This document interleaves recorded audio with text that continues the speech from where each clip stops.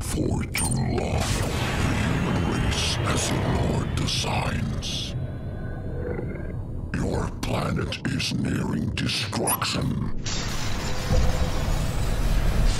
Salvation is reserved for those who pass.